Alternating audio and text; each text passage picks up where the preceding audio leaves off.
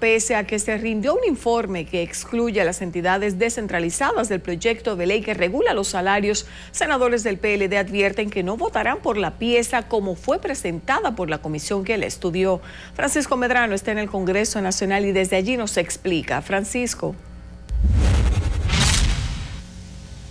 Hola, gracias, buenas tardes. Así es, en principio, uno de los propósitos fundamentales de esta ley era establecer que ningún funcionario del Estado devengar a un salario mayor al que tiene el presidente de la República.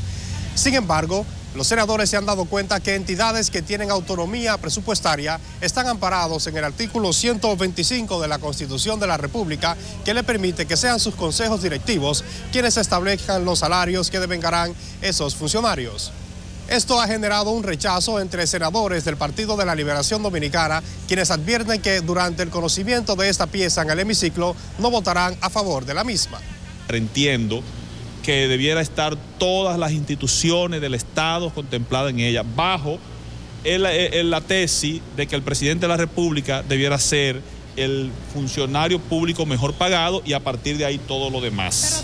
Yo creo que se va a, revisar un poco esos artículos porque aunque haya una, cierta flexibilidad con instituciones como el Banco Central, la DGI, eh, habrá que ver la posibilidad, la conveniencia de establecer un marco referencial.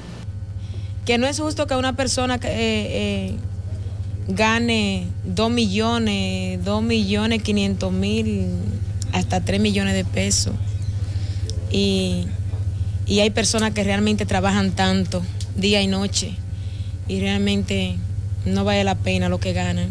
Entonces, yo no voy de acuerdo con esa ley así.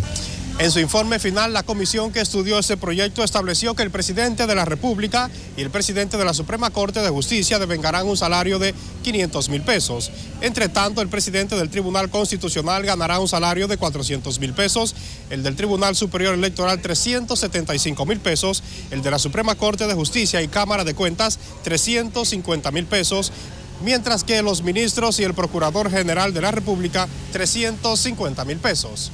Por el momento es todo. Desde la sede del Congreso Nacional, retornamos con ustedes al centro de noticias.